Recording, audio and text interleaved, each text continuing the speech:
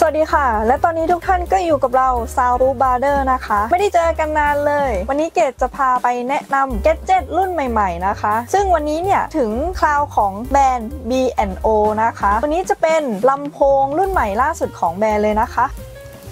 เจ้า B&O วันนี้ชื่อว่ารุ่น Beosound A5 นะคะ เขาจะมาพร้อมกับกล่องที่แข็งแรงมาก ๆ เลย วิธีการเปิดนะคะ ก็คือสามารถเปิดเป็นฝาครอบขึ้นมานะคะ เรียบหรูดูแพงตั้งแต่กล่องด้านนอกเลยนะคะลำโพงหน้าตาแบบนี้เป็นลำโพงทรงพกพานะคะ เหมือนคล้ายๆ กับตะกร้าปิกนิกเลย นี่แบบนี้เขาถูกดีไซน์ออกมาให้สำหรับใช้ทั้งในบ้านแล้วก็นอกบ้านนะคะ ซึ่งประวัติของน้องเนี่ยไม่ธรรมดาเลยเจ้า B&O เนี่ยเป็นแบรนด์สัญชาติเดนมาร์กเลยนะคะ แล้วก็ดีไซน์ของเขาเนี่ยถูกออกแบบร่วมกับบริษัท GamFratesi นะคะ ซึ่งเป็นบริษัทสถาปนิกของอิตาเลียนเลยนะคะ ตัวนี้ ซึ่งผู้ที่ออกแบบเนี่ยเขาก็อยากให้มีความคอนทราสต์กันนิดนึง ระหว่างรูปลักษณ์เขาจะดูแบบมนๆอย่างนี้ใช่ไหมคะ ในขณะเดียวกันเขาก็ดูแข็งแรงมาก เพื่อการใช้งานได้ทั้งนอกบ้านแล้วก็ในบ้านเลยนะคะ ตัวนี้ B&O Bio Sound A5 ตัวเนี้ยเป็นรุ่นที่พัฒนามาจากรุ่น Biolit 20 นะคะ แล้วก็เขาอาจจะมีความผสมผสานกันระหว่างลำโพงซีรีส์รุ่น Biolit รุ่นต่างๆนะคะ ตัวนี้แล้วก็เขาเนี่ยเคมว่าตอนเนี้ยเจ้ารุ่น Bio Sound A5 เนี่ยเป็นรุ่นที่เสียงทรงพลังมากที่สุดเลยนะคะขับเสียงได้360 องศาเลยตัวนี้สามารถปล่อยเสียงโดยรอบได้เลยก็คือทั้งตรงนี้ แล้วก็ตรงนี้นะคะ เป็นเอกลักษณ์มากเลยตัวนี้ แล้วก็ชิ้นส่วนของเขาเนี่ยสามารถถอดเปลี่ยนได้เป็นบางชิ้นนะคะ เพื่อการบำรุงรักษาในระยะยาวเนาะก็คือถ้าเกิดตรงไหนที่ต้องการเปลี่ยนอย่างเจ้าตัว cover เนี่ยสามารถถอดเปลี่ยนได้แล้วก็ชิ้นส่วนต่างๆ ได้เพิ่มด้วยนะคะ เวลาเปลี่ยนจะได้ไม่ต้องเปลี่ยนทั้งตัวนะน้ำหนักของเขาเนี่ยอยู่ที่ 3.7 กิโลกรัมนะคะเอาจริงก็ไม่ได้ถือว่าเบาเลยนะ ตัวเนี้ยมันเหมาะกับแบบว่าเราตั้งไว้ที่บ้านหรือว่าเวลานำไปเที่ยวค่ะ คือใส่รถไปส่วนตัวเกดรู้สึกว่ามันไม่เหมาะกับการที่แบบว่า ถือชิลๆไปนู่นไปนี่ได้ แต่ว่ารูปแบบเขาออกมาเหมือนแบบเฟอร์นิเจอร์ตั้งโชว์อะไรอย่างเงี้ยเข้ากับบ้านคือเรียบหรูดูแพงมากเลยนะคะ เพราะว่าตอนรีวิวเนี่ยแค่ถือนิดเดียวเนี่ยก็รู้สึกว่าแขนสั่นเหมือนกันนะ3.7กิโลกรัมก็ไม่ได้ถึงกับเบานะคะ ตัวนี้แต่ว่าแน่นอนค่ะ เพราะว่าน้ำหนักของเขากับความแข็งแรงเนี่ยมันไปในทิศทางเดียวกันนะคะ แล้วก็เนี่ยการออกแบบรูปแบบของเขาข้างหน้าจะมีสกรีนเป็นโลโก้เลยเขาจะมีด้วยกันทั้งหมด2 สีนะคะ รุ่น Beosound A5 ก็คือสีนี้เรียกว่า Nordic Weave นะคะ สีออกสีน้ำตาลอ่อนนะ แล้วก็อีกสีหนึ่งชื่อว่าสี Dark Oak นะคะ ก็คือเป็นสีน้ำตาลเข้ม ราคาทั้ง 2 ตัวเนี่ยจะไม่เท่ากันนะคะ เจ้า Nordic Weave ตัวนี้ราคาอยู่ที่ 47,900 นะคะ แล้วก็ Dark Oak จะอยู่ที่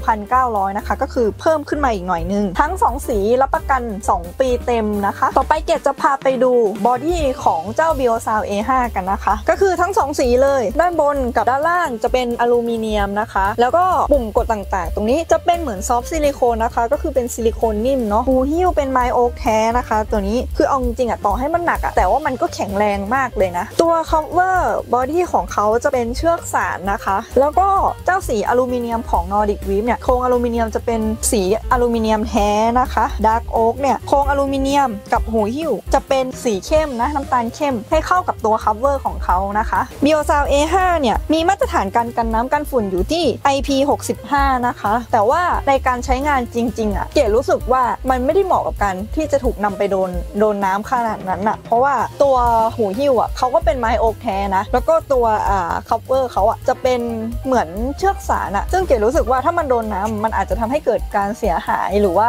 ทำให้ลดอายุการใช้งานของเขาไปทางที่ดีเก๋ก็เลยรู้สึกว่ารักษาเขาหน่อยก็ดีนะเพราะว่าไม่ได้เหมาะกับการนำไปไปแบบเป็นลำโพงลุยๆ ขนาดนั้นอะแบตเตอรี่ของ Beosound A5 นะคะ อยู่ได้สูงสุดประมาณ 12 ชั่วโมง ต่อการชาร์จ 3 ชั่วโมงแบตเต็มนะคะ ถ้าชาร์จประมาณ 2 ชั่วโมงเนี่ย แบตก็น่าจะได้ประมาณสักประมาณ 80%แล้วนะคะ ตัวนี้ส่วนด้านหลังรูชาร์จนะคะรูชาร์จเขาจะเป็น Type C นะคะ แล้วก็เจ้า Beosound A5 เนี่ยเขารองรับการชาร์จแบบไร้สายแบบโทรศัพท์ไร้สายด้วยนะ คือถ้าเกิดเราเปิดไว้อะด้านบนอะเราเอามือถือวาง ก็จะสามารถชาร์จมือถือได้นะคะเป็น smart charge เนาะปุ่มควบคุมต่างๆ อยู่ด้านบนนะคะ บนซอฟต์ซิลิโคนตรงนี้จะมีปุ่มเล่นปุ่มหยุดเล่นเพลงถัดไปก่อนหน้า แล้วก็เพิ่มเสียงลดเสียงบลูทูธปุ่มเปิดปิดก็อยู่ข้างบนตรงนี้นะ อุปกรณ์ที่เขาให้มานะคะ ก็จะมีสายชาร์จ สายชาร์จของเขาจะเป็นหัวเนี่ยจะเป็นหัว Type C Type C นะคะ ตัวนี้ความยาวอยู่ที่ประมาณ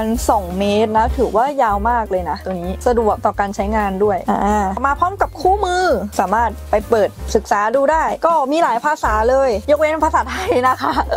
แต่ว่าไม่เป็นไรเพราะว่าภาษาอังกฤษเขาก็ออกแบบมาได้ค่อนข้างชัดเจนอยู่นะ วิธีการใช้งานเนี่ยนี่แอป B&O เนี่ยสามารถโหลดได้ผ่านทาง App Store แล้วก็ Google Play นะคะ เจ้าตัวเนี้ยมีลูกเล่นเยอะแยะมากเลย ผ่านทางแอป ไม่ว่าจะเป็นการคัสตอมไมซ์ต่างๆ สามารถปรับเสียงได้ตามแบบที่เราชอบเลยนะคะ ฟีเจอร์เสริมของเจ้า b i o s o u n d A5 นะคะ คือเขารองรับการเชื่อมต่อแบบสเตอริโอด้วย คือสามารถเชื่อมต่อผ่านลำโพงได้อีก 1 ตัวนะคะ ก็คือเป็นลำโพงเชื่อม 2 ตัวเป็นซ้ายขวาก็ได้ feel เหมือนดูหนังโรงอะไรประมาณเนี้ย